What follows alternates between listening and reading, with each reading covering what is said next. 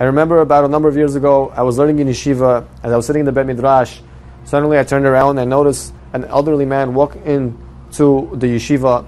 He looked very put together, very well dressed, nice tie, nice cufflinks, nice watch, fancy belt, fancy shoes. I didn't think too much into it, I just went back to learning. About an hour later, I hear the doors of the Rosh Yeshiva's office open, the Rosh Yeshiva walks out and he looks around and as he's looking around, he notices this elderly man who's still standing in the back of the yeshiva. He approaches him and he introduces himself to him. And he says, Oh, can I help you? What's your name? And the man says, Oh, my name is Stephen so and so. I'm actually a professor from Harvard University.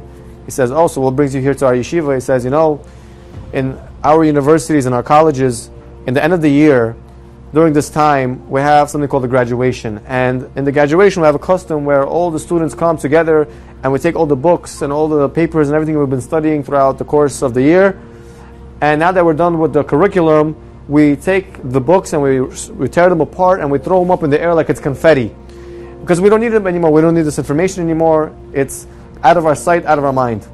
And I was wondering, what do you guys do in yeshiva with all the Torah that you learn over here? Do you throw out your Gimarot and your Talmud? Do you throw out the Chumashim and the Sidurim when you're done with it? What do you do with your Sifarim, with your books? So I came out of curiosity to see. And as I was walking into the yeshiva, I was looking around to see if there's any bonfires, anyone making fires, throwing the books into fires. I didn't see any of that. I was looking to see if maybe there's a dumpster filled with books, and I didn't see any dumpster with books. And as I walked in, I admired what I saw. And Rabbi, I want to tell you, I was very moved by what I saw. I was looking around, I saw at the end of the day, had the boys got up from their chairs and they took the sefer, this that they were learning, the Gemara, and they picked it up and they gave it a kiss and they showed it such respect and such honor. And then they placed it back onto the shelf so they could return to it and come back to it. And I said, This book must be very special. I don't know what it is that you guys are learning, but whatever it is, it's for sure eternal.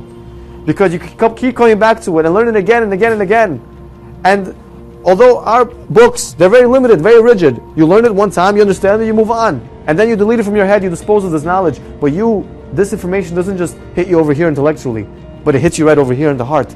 And it penetrates through your heart and it seeps into your souls. And you become better people as a result of it. It molds you into the people that you are. It makes you more refined, it makes you more moral and more ethical, and it gives you values. And that's something our books will never give us because what you have must be divine. And so you treat it with the proper respect. And I say this professor is right that the Torah that we have is infinite, it never ends because it's written by the one who's infinite, by Hashem himself. And Hashem has no limits, He has no bounds. And so this Torah that He has given us, it has no end. And the more we learn it, the more we develop our character, the more we improve as a people, and the more we become the people that we came to this world to become, and even more so, we develop that relationship with Hashem that Hashem so much longs to have with us and our souls long to have with Him. So learn the Torah, but don't just learn intellectually, but take the lessons that are hidden within it. I keep learning it because the more you will learn it, the more you will see there's so much more there, and the more you think that you know, the more you realize that you really don't know.